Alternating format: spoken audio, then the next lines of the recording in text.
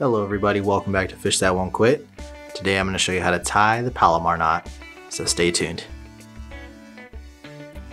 Alright, so for the Palomar knot with your line, you're going to go ahead and double that over. I like to do about 6 to 8 inches here. And then with the loop end, you're going to want to pinch that small enough that it will fit through the eye of the hook here. And place that through.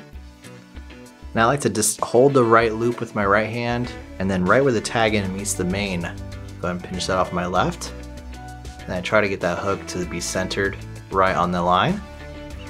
Now with the two lines in your left and right, you're gonna make an overhand knot just by looping it like so and running the loop through to make a standard overhand knot.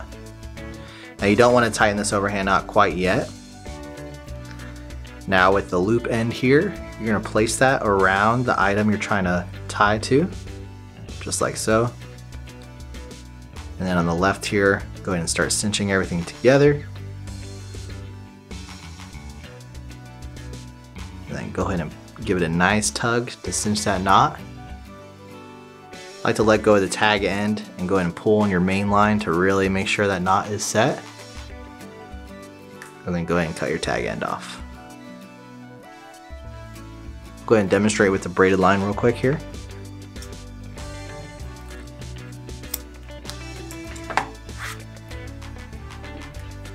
So with your braided line, you're gonna be doing the same exact process. Go ahead and double that over. Get your loop nice and tight and pass that through the eye of your hook. And then go ahead and dangle that between. Make your overhand knot. Like before, don't close that overhand knot quite yet. Now with your loop end, go ahead and pass that around your item, just like so. Then with the left tag and main, you can start pulling this knot together. And then make sure your line goes onto your knot, just like so. Give that a nice tug. Let go of the tag end and tug on your main line. And then you can go ahead and cut that tag end off.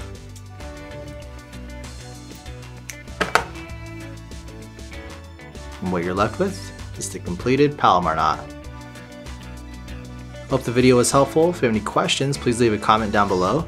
If you liked the video, hit that thumbs up. And until next time, thanks for watching.